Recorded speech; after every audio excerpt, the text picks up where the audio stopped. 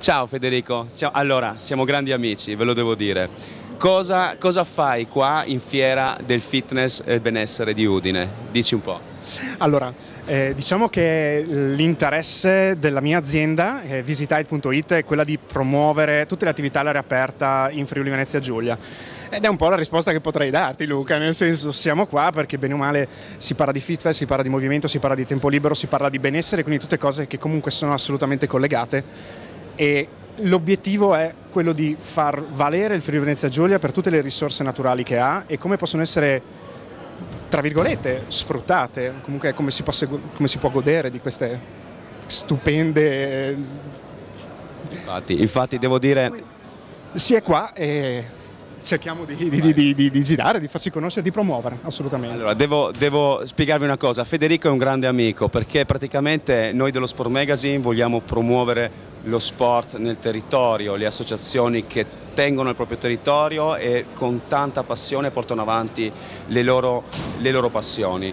Eh, Federico è, ha le nostre stesse idee, quindi ha deciso di eh, puntare sul territorio, portarlo avanti e promuovere come facciamo noi le varie realtà che già operano nel territorio. Chi abbiamo qua oggi? Ma io ho approfittato qua oggi per, per presentarvi, per presentarti e presentarvi una persona che collabora ovviamente con, con, con l'azienda, con Visitite, che oltre a fare un'attività molto molto interessante, secondo me è una delle più belle che si possono fare in ragione, ma sono gusti personali, eh, vi proporrà anche un'anteprima per ok. in Friuli. Eh, posso, posso, presentarlo io? Vai, vai, vai andiamo, andiamo. Ciao, ciao, ciao, ciao. Buongiorno, buongiorno, buongiorno, Come ti chiami? Alessandro De Santis. Okay. Dici un po' sì. cosa, cosa fate? Le nostre attività, ma le nostre attività principali, io sono una guida speleologica, quindi mi occupo di tutto ciò che è speleologia, quindi tutto il sottosuolo, grotte, non grotte, anche cavità artificiali e poi soprattutto il canyoning d'estate, no? questa attività ludica, divertente nei fiumi, no?